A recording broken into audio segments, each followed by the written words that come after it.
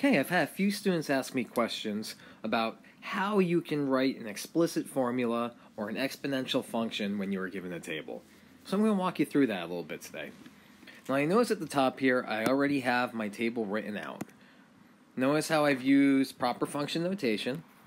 X right here will be my input. And down below, I've got f of x, which represents my output. A lot of times you guys have seen that as y, uh, excuse me, as y in the past. And for right now, we're going to call it f of x because we're using function notation. Now, one thing to notice, and this is pretty important. Notice that my inputs are all going up by 1. That is very important for the process we are doing. For right now, that's what you're going to see. But in the future, if you see your inputs are not going up by 1, you're going to have to use a method that's a little different. So remember, this only works if your inputs are going up by 1. All right, now first step, I want to figure out what exactly is going on in my table. First of all, is it even exponential? Let's take a look. I get from 6 to 12 now, we have a couple ways we can get there. It's either plus 6 or times 2. So let's see which one holds up. I go from 12 to 24. Ah, times 2. Plus 6 won't work this time. Let's try this again. 24 to 48 times 2. 48 to 96 times 2. So as you see, this is not going to be a linear function. If it was a linear function, or an arithmetic sequence, it would be going up by addition. Since it's going up by multiplication, if you remember, this is what we call a geometric sequence. Whoops. Quick fix. Alright, so just notice I'm writing down geometric sequence so I know that. Now, I gotta come up with the formula for this. So what I'm to do is I'm going to write using basic function notation f of x equals. this tells me is when I plug in x for something, I can get an output. Now, I notice that I'm multiplying by 2 each time. So I'm going to write 2 in here. Notice I'm going to write 2.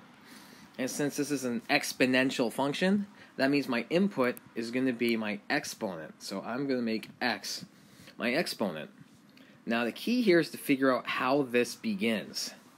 Now you'll notice I left a blank space here. There's a reason for that.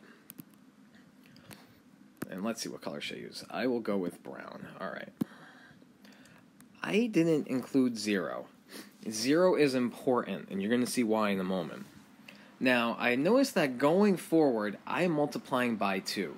Now, if I were to go backwards, opposite multiplying would be dividing. So if I were to divide by 2, going backwards, 6 divided by 2 would give me 3. And that 3 is going to be my initial number here, 3. So I've now written my exponential function, which is 3 times 2 to the x power. So what I'm going to do, plug it in. Let's see if it works. All right, so I'm going to plug in, let's see, 2 is my input. So then I'm going to do 3 times 2 to the second power. Now remember, order of operations tells me I have to do my exponent first. A lot of us might try to do 3 times 2 first. Doesn't work. Exponents come first. 2 times 2 gives me 4. So I can do 3 times 4. 3 times 4 gives me 12. Hey, well, you know it worked that time. Let's try another one. Make sure it still works. I will try an input of, I'm going to jump around a little bit. I'm going to try my input of 5. So, we're going to plug it in, 3 times 2 to the fifth power. Now remember, 2 to the fifth power means 2 times 2 times 2 times 2 times 2. And it is not 10. A lot of people want to jump to that conclusion. 2 to the fifth power must be 10. Nope. 2 times 2 gives me 4. Whoops. I didn't want that to be a line. Let's fix that. 4, 8, 16, 32. 3 times 32. When I multiply that out, I get 96. And what do you know? When I go back up to my table up here, it works. Input of 5 gives me 96. Input of 2 gives me 12. So, my function worked. It's always good to check it once you get there. Remember, an exponential function is a geometric sequence.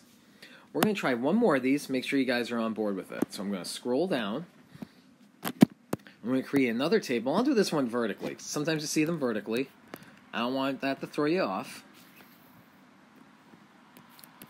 Not a big deal. Sometimes they're lying down, sometimes they're standing up. Table is a table. Alright, I'm going to leave a blank space here for zero. I'm going to have four inputs. Now let's see. I will start this time with, let's say, 15. Ah, uh, no, I don't think I'm going to go with 15. You'll see a reason why in a second. I don't want to use 15. I'm going to go with 20.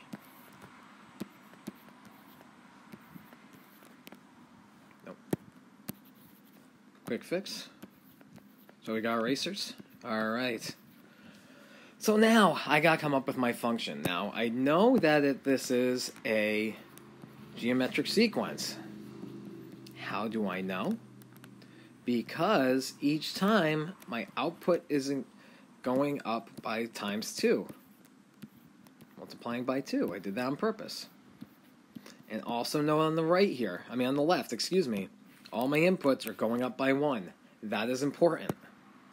If my all my inputs aren't going up by 1, this is not going to work. So I can start writing my function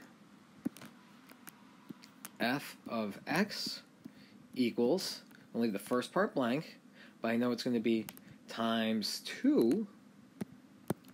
Remember, that's where this comes from. Times 2 goes right here. And since this is an exponential function, my input would be my exponent. And now I just need to figure out where I'm starting. So to do that, I'm going to go back to 0. They didn't give me that, so I'm going to have to work my way backwards here.